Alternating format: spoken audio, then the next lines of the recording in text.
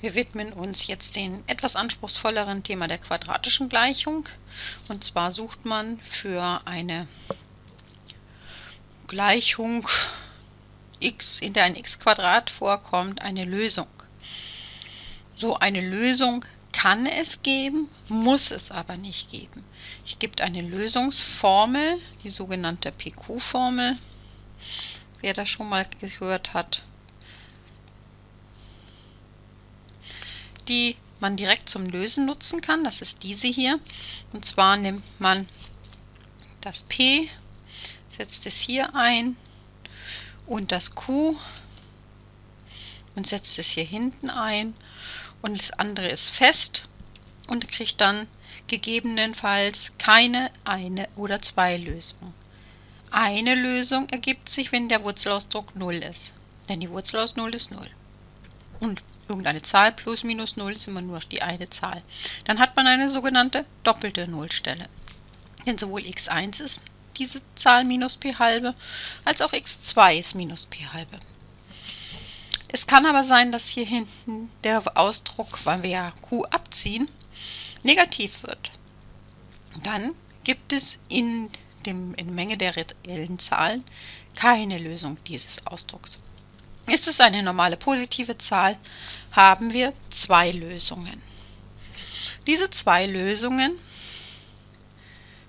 sind die Nullstellen, weil wir ja hier gleich 0 geschrieben haben, der sogenannten quadratischen Funktion, wenn man es als Funktion auffasst. Und man kann es dann auch in so einer sogenannten Linearkombination oder Zerlegung in Linearfaktoren schreiben. Ich weiß nicht, kleine Randbemerkung, wenn man eine quadratische Gleichung aufmalt, das haben Sie vielleicht noch im Kopf, dann sind das häufig so nach oben oder unten geöffnete, mehr oder weniger hübsche Parabeln nennt man die. Und dieses ist der Fall mit zwei Nullstellen. Verschieben wir das jetzt ein Stück nach oben. Haben wir keine Nullwerte. Schieben wir das nach unten oder kippen das vielleicht mal nach unten, kommen hier gegen, haben wir vielleicht nur eine. Also Sie sehen, je nachdem, es kann alles Mögliche geben. Mit dieser Formel kann man nicht nur quadratische Gleichungen lösen. Hat man ähm, Funktionen der Art zum Beispiel z hoch 4 plus p z Quadrat plus q gleich 0 zu lösen, dann hat man eine sogenannte biquadratische Gleichung.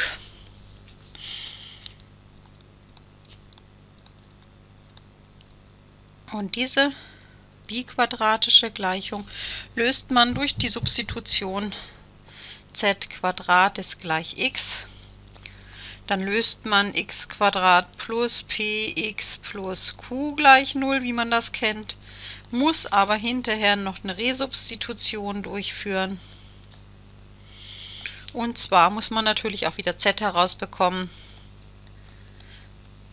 Und zwar indem man die Wurzeln zieht aus den beiden oder aus den Stellen x1, x2, die man vielleicht ausgerechnet hat. Also das ist dann ein ganz klein wenig aufwendiger, kommt nicht oft vor, aber manchmal ist es sehr nützlich. Bei den Übungsaufgaben ist auch eine Aufgabe der Art dabei. So, dann wollen wir mal zu den Aufgaben kommen.